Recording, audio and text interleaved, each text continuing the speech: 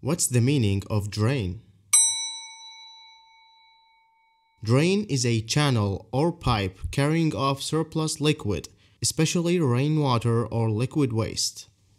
For example, the room's toilet pipes and shower drains carry this waste to a holding tank. Another meaning of drain is something that uses up a particular resource. For example, nuclear power is a serious drain on the public purse.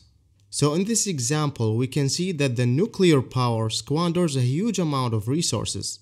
Another meaning of drain is to cause the water or other liquid in something to run out, leaving it empty, dry, or drier. For example, we drained the swimming pool this evening, so the swimming pool became empty. Drain also mean to deprive of strength or vitality.